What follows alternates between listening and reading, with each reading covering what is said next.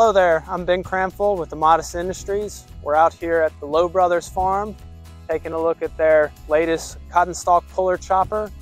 This machine is the, the latest design that we came out with in 2022. This latest design has uh, a number of improvements from our cotton stalk puller that we've been making since the mid 90s. Uh, first, I'm gonna talk about those different improvements here.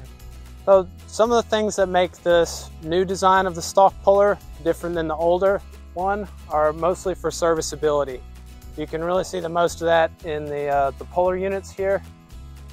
So if we take a, a close look at the puller unit, you have the, the gearbox is in line with the puller unit shaft, connected with a simple straight splined coupling as opposed to the U-joints we've used in the past. So that's easier to replace and easier to remove. Um, if you do need to replace either of these bearings here, you can remove this whole uh, puller assembly shaft by just removing the bolts that hold the bearing. so the three up top here and the two in the back, and you can remove that whole assembly. On the driven wheel side, we use a simple um, spindle and hub assembly. You can remove this bolt and the spindle will slide out the tube uh, to replace that. The, uh, this bearing down here at the bottom, it is a greasable bearing. It should get a couple shots of grease every week. You can grease that without removing the shield. The upper bearing is a sealed bearing. It does not need grease. The spindle and hub assembly, it does have a grease point on the hub, and that should also get a couple shots of grease every week. Other improvements in the new design is we use a, a single chain to connect the rotor to the, uh, the main jack shaft. So this is a ground driven implement and um, using the single chain instead of the two that we've had in the past uh, is just less parts that could wear out. You have real, real easy access to all the gearboxes and drive lines with this shield right here. So part of your daily maintenance is you're going to want to grease this clutch right here. This is overrunning clutch. You have one grease fit in there, another grease fit in there. Give that a couple shots of grease daily.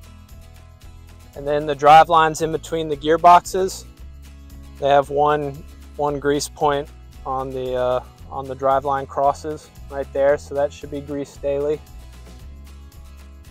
The, the gearboxes themselves are filled with oil from the factory. They, they rarely need any additional oil, um, any additional oil in them, but you can access a fill port on the top here There'll be a cutout in the sheet metal for it. Right around here.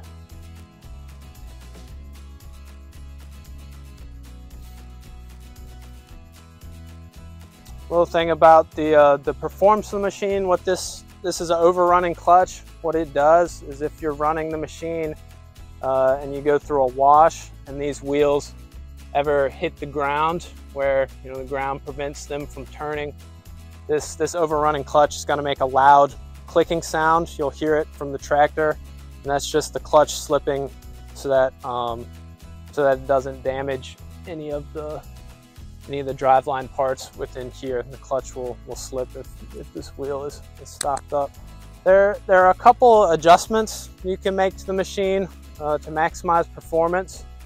Um, I guess for starters, the six row machine has adjustable row spacing. So if you do need to sell the machine again, you can uh, move the gearbox, or you can move the whole puller units um, either way for 36 inch or 38 inch row spacing. Uh, the details of how to do that are in the operator's manual.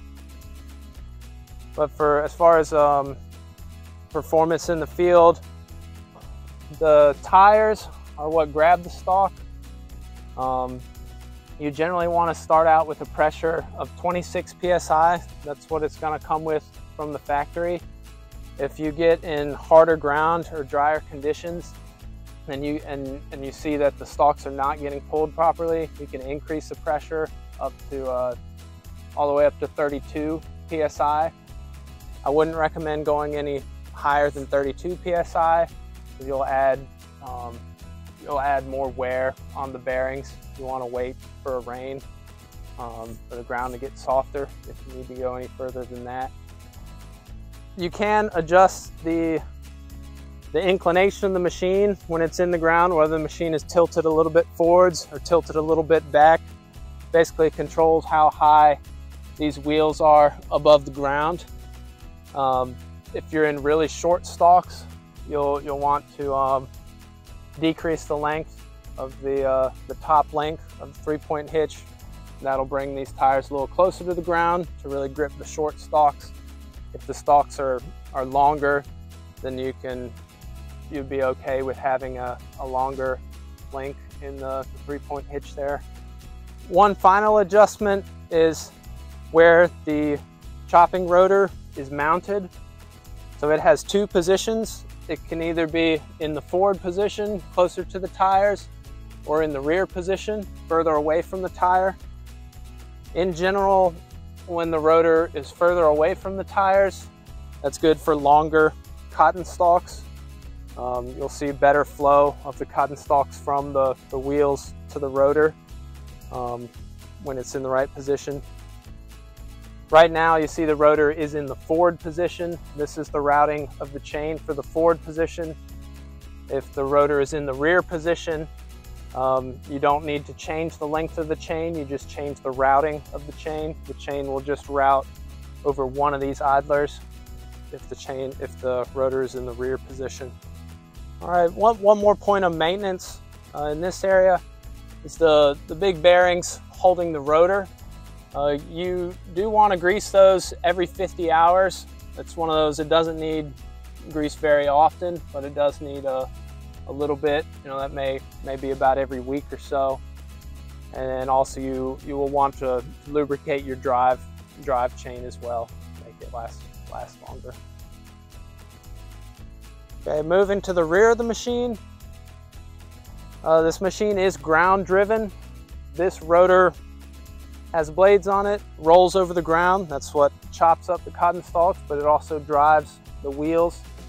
One of the improvements we made uh, with this new design is a new mount, new uh, blade mount design. This new blade mount uses a bent half inch plate that's very strong. Uh, to hold the blades and it you know won't won't wear out and won't break on you.